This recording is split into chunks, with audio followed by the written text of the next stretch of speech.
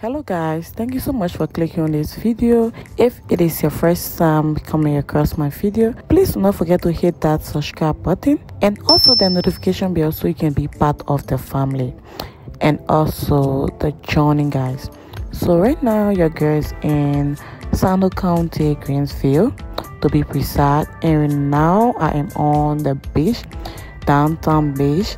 This beach is located in Greenville so first of all i'm going to be taking you guys on the upper beach to show you guys the view before going to downtown beach. So downtown beach is where they have the they have those shapes that they take goods from liberia and transfer it to ghana. Can you imagine? That shape goes as far as any country they want to go and also transporting other schools from Liberia. So stay tuned to see more of it and how they go about doing so. So this is the view of the upper beach. This beach is linked with the downtown beach. So I'm just gonna be give you the view and the look of this beach. I don't want you to skip any part of this video. Just stay tuned and wait for it guys.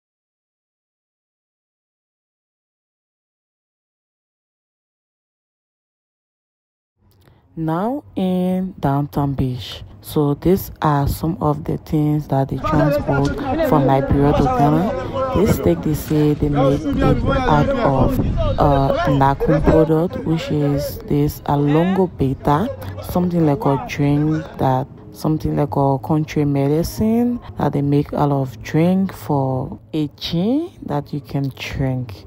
So this is how in the shape looks so guys. Are, this shape contains this a lot of things that they can transport. This but unfortunately what they are me transporting guys from liberia to ghana for my beta video. and Can you imagine taking my time coming all the way downtown beach, doing my recording, and while knowing that I was going to lose all of that? So crazy and disappointing. Baby sir.